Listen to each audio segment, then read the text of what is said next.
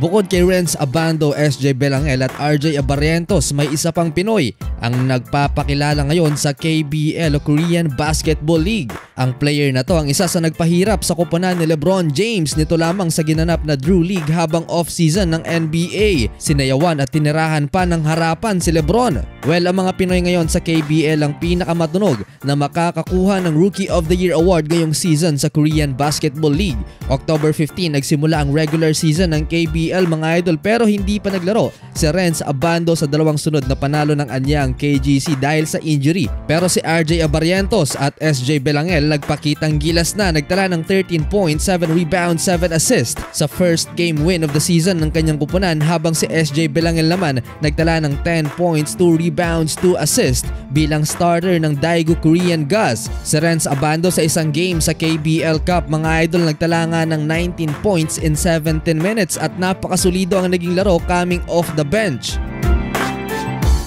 Pero kung na-impress na kayo sa stats ng tatlong Pinoy na yan mga idol, meron pang isa ang gumagawa ng kanyang sariling pangalan sa KBL. Yan nga ay si Ethan Alvano, former Alab Pilipinas guard, 26 years old, 6'1 point guard ng Wonju DB Promi. Parang Jason Castro ang galaw nito mga idol pero mas mabilis lang ng bahagya at flashy ang TNT guard. Sa kanyang unang laro ngayong KBL season mga idol, nagtala ang kababayan natin ng 18 points, 4 rebounds, 10 assists, 1 steal and 2 blocks sa loob ng 37 minutes na paglalaro while shooting 7 of 9 from 2-point area.